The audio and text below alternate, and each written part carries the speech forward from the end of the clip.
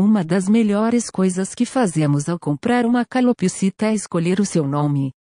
São tantas possibilidades que às vezes ficamos até perdidos, e para piorar, em muitas oportunidades não sabemos nem se o nosso novo animal de estimação é macho ou fêmea.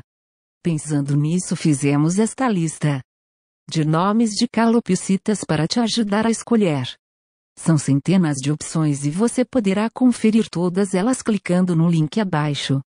Curta e compartilhe o vídeo com seus amigos que gostem de calopsitas.